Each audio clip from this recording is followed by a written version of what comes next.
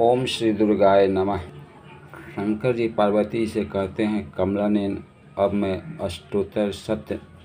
नाम का वर्णन करता हूँ। सुनो, जिसके प्रसाद मात्र से परम साध्वी भगवती दुर्गा प्रसन्न हो जाती है, ओम सती साध्वी भवप्रीता, भवानी भवमोचनी, आर्या दुर्गा, जया आद्या त्रिनेत्रा, सुलधारणी पिनाक धारणी चित्रा चनघंटा महातपा, मन बुद्धि, अहंकारा चित्रूपा चिता, चिति, सर्वमंत्रमय, सता सत्य स्वरूपा सत्य आनंद स्वरूपिणी अनंता, भावनी, भाव्या, भव्या, अभव्या, सदागति,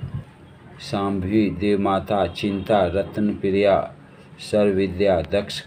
कन्या, दक्ष विनाशिनी, अपर्णा अनेक वर्णा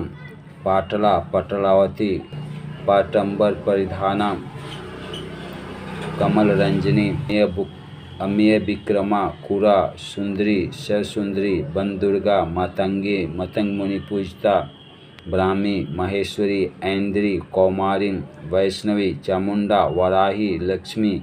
पुरुषाकृति विमला उत्कर्षणी, ज्ञाना, क्रिया, नित्या बुद्धिदा बहुला बहुल प्रेमा सर्ववाहन वाहना निशुंभ शुंभ हननी महिषासुर मर्दनी मधु कटभंत्री चंडमुंड विनाशनी, सर्व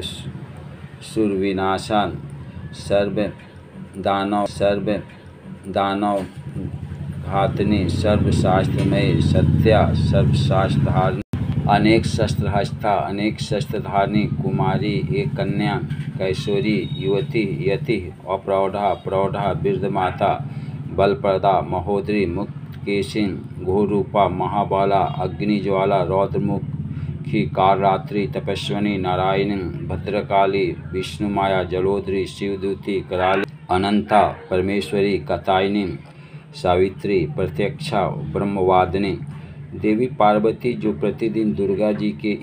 अष्टोत्तर सत नाम का पाठ करता है, उसके लिए तीनों लोक में कुछ भी असाध नहीं है, वह धन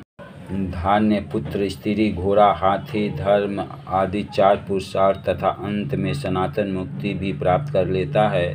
कुमारी का पूजन और देवी सुरेश्वरी का ध्यान करके पराभक्ति के साथ उस, उनका पूजन करें, फिर अष्टोत्तर सत्य नाम का पाठ आरंभ करें। देवी जो ऐसा करता है, उसे सब श्रेष्ठ देवताओं से भी सिद्धि प्राप्त होती है। राजा उसके दास हो जाते हैं। वह राजलक्ष्मी प्राप्त कर लेता है।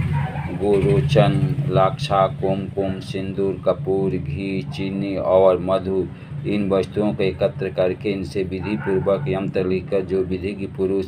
सदा उस यंत्र को धारण करता है, वह शिव के तुल्य हो जाता है। भौमती, अमावस्या की आधी रात में जब चंद्रमा भीषा नक्षत्र पर हो, उस समय इस स्रोत को लिखकर जो पाठ करता है, वह संपत्तिशाली होता है।